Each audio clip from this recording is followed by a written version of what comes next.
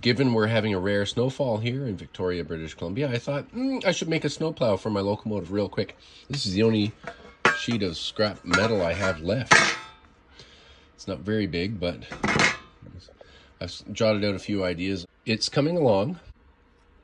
So far, so good. Measuring first, holding it in a vise, and whacking away with a hammer. I mean, it's not pretty, but I'm now 20 minutes in. 20 minutes in, and now I gotta figure out how to mount it on there. Hmm. An hour and 40 minutes later, voila. Does it look pretty? Well, I did have to uh, drill through the deck there. I did have to move this, so I have an extra hole there. It is solid.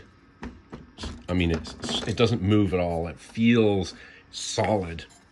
So there you go snow in Victoria sometimes lasts literally one day, and that's it for the whole winter. So uh, this is a rush job, very, very rush job. I'll tidy that all around these things and, and all that later, and, and I'll paint it. But now, no, no, no, no, I'm not going to paint anything. I'm going to get out there and try it.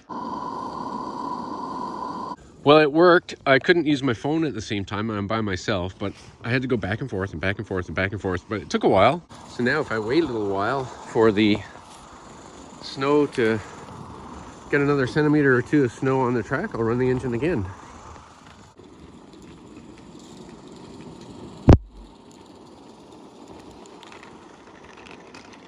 Oops, oops. Snow came down on the track. Oops.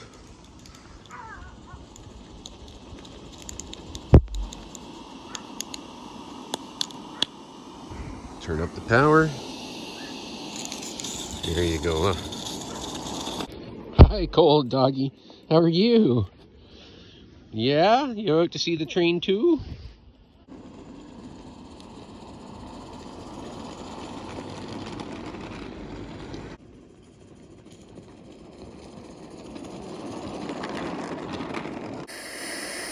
The snowplow was a success.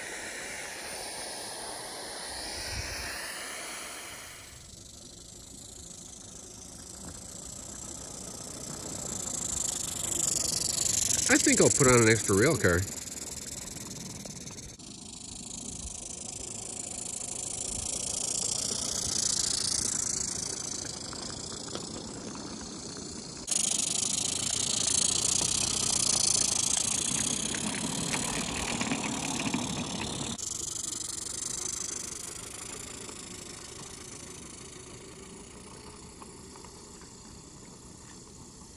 Henry, why don't they put windows in these carriages for when it snows? I don't know, Marge. Maybe.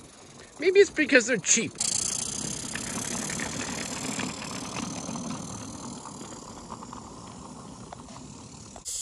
Well, this has been fun. I think it's time to go in the house now for a nice warm cup of tea. Oh, Henry, a drop of tea does sound good. I agree, Marge. I think we should go get one forthwith.